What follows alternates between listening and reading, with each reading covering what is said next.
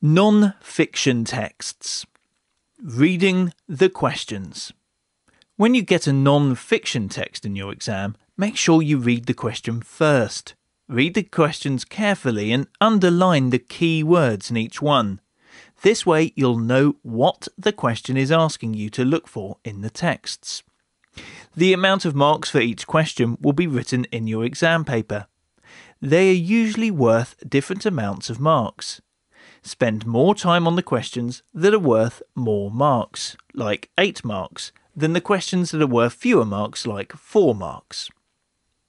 Reading through non fiction texts and answering the questions. Read through non fiction texts slowly and carefully. You should always read through the texts more than once. When you answer the questions in a non fiction text exam, there are three things you must do. Do you like what you see? Click the link at the bottom of this video to find out more about revision.